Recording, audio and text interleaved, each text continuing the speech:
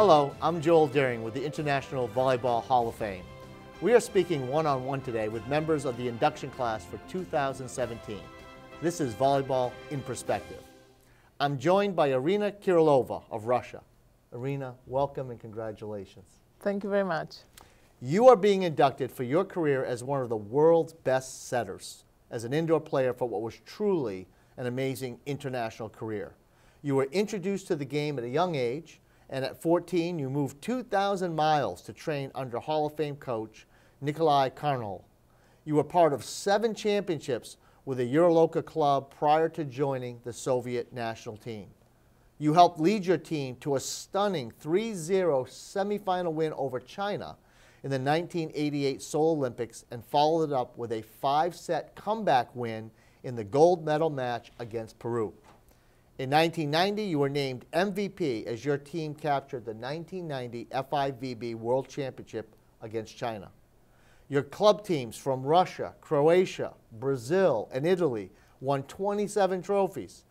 Volleyball not only influenced your professional life, in 1988 you also met your husband, Italian coach Giovanni Caprara, while playing in Italy. You teamed up as his assistant coach with a Russian team that won gold at the 2006 FIVB World Championships, and later you were named head coach of the Croatia women's national team in 2011 quite a career, and you're still going. Tell us about how you became involved in volleyball. How did you start playing? Well, I, I was uh, 11 years old when I started to play. My father, he was a volleyball player also. And um, in city when we lived, he was uh, well known.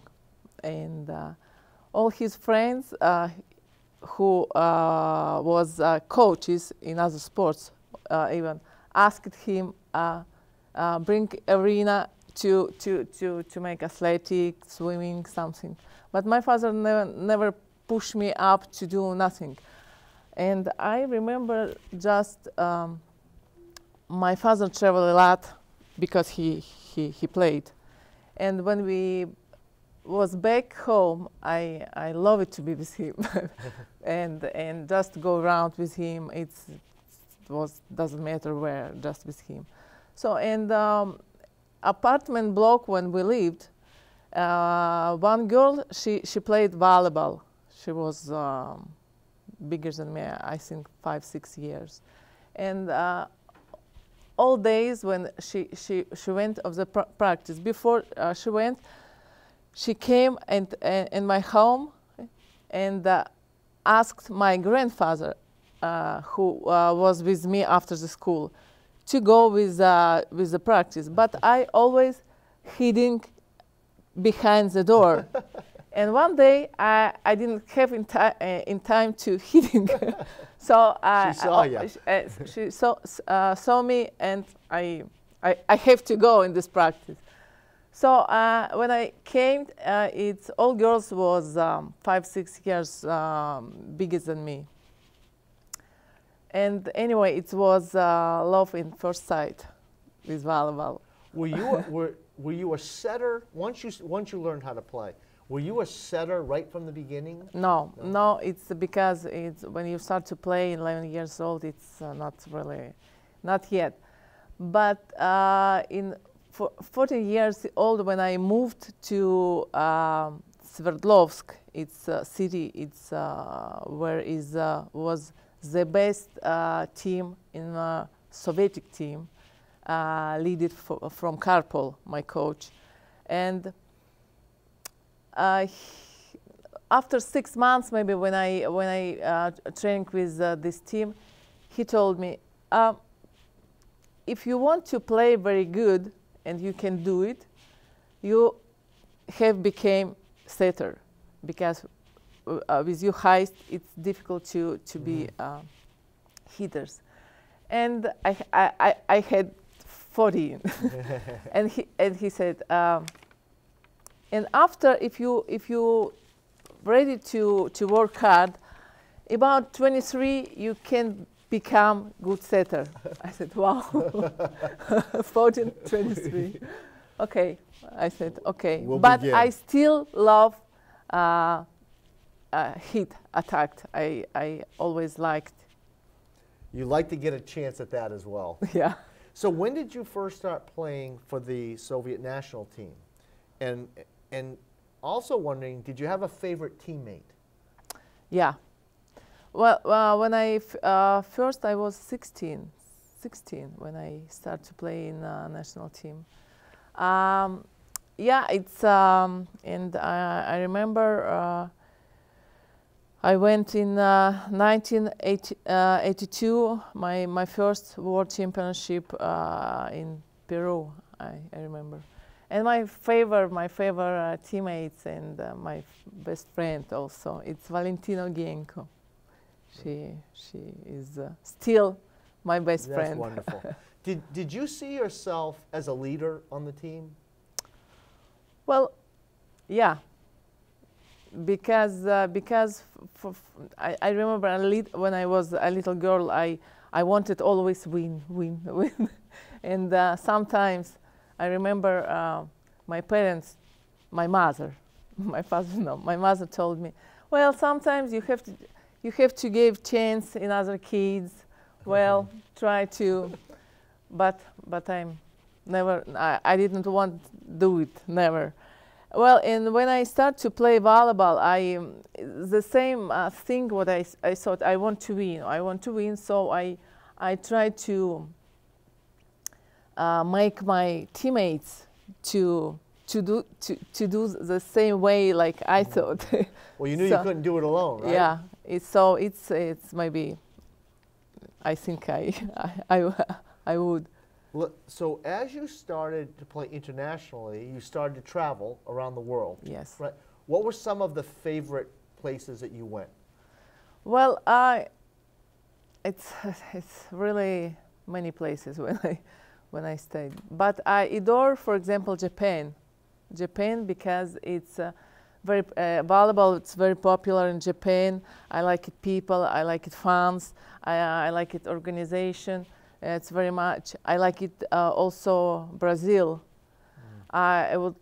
I, I played in Brazil also um, in club unfortunately just for one year because I, I was was injured my knee, and I like it, this this place very much because it's volleyball very popular in Brazil, and I like it people also mentality Brazilian mentality because it's they always they they know uh, leave because they always uh, excited uh, life. Yeah, they're very enthusiastic for enthusi- sure. Yeah, yeah. So let's talk about the 1988 Olympic Games in Seoul. So going into the games, did you believe you were going to win the gold medal? Uh, anytime when I speak about this moment, and just past almost 30 years, I, I'm very emotional to speak about it. Well, uh, I have to, to say uh, uh, we came in these Olympics, its way for came in these Olympics was very difficult because in um, 87, we, uh, 1987, we last uh, Europe Championship. It was uh, directly you uh, before you you can go to Olympics, but we lost, and we ha- uh, we had to play uh, qualification, uh, and it was very uh, very difficult. We almost we. Um, uh, was uh, losing uh, against Brazil. Uh, it was very hard uh, match. I, I remember. But when we came in in Seoul for Olympics, nobody thought about uh, uh, medals for us, not even gold, because in in this Olympics, in about gold, uh, don't speak nobody because it was Chinese already before the starting. Right. So, and uh, because um, they for seven years, uh, Chinese for seven years, they uh, don't uh, uh, don't last one one uh, official ma- match. So, and um, I, I I believe it when it, it's possible. It's very di- difficult, but it's possible. But I think it's it's maybe Karpol coach. He, he was he was. Uh, thought like me. I, I, I thought like him because uh, he's crazy, but I a little bit also. and so it's, um, it's, yeah, it was um, very, very particular Olympics for us, yes. And, and, the, and the final, the gold medal match was so exciting, right?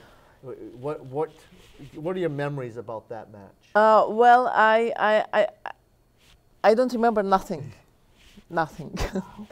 Uh, I remember just we was uh, losing uh, two, uh, to zero and 12 to six in third set. And, and this time it's played till 15. Yeah. and Karpol took a second timeout and he said, when we played, you, your, your eyes have burned because you want to play. And after that, we change. And everything changed. Wow. And uh, yes, it was dramatically in the major, uh, even because we played against Peru but uh, against Peru these years, we always won. It's difficult, but always won. Mm. So it was really, and I remember when it's finished, it was first time in my life I was crying for volleyball.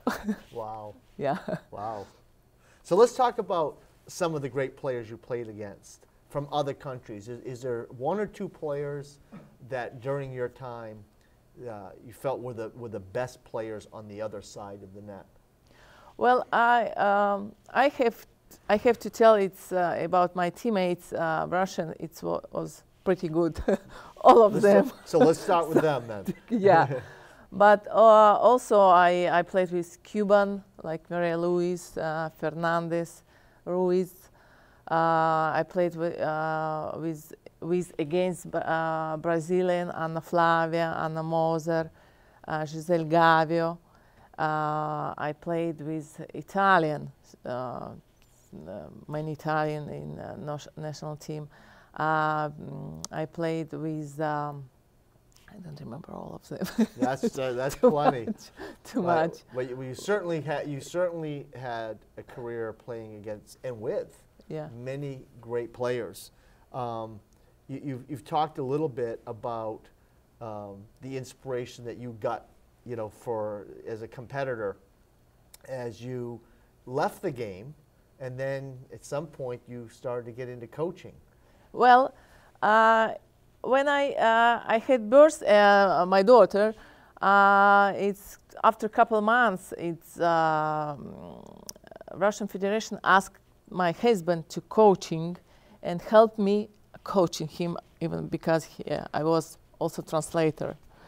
Uh, so it's uh, was very good experience, but uh, very difficult for me because it's our daughter was travel with us all over.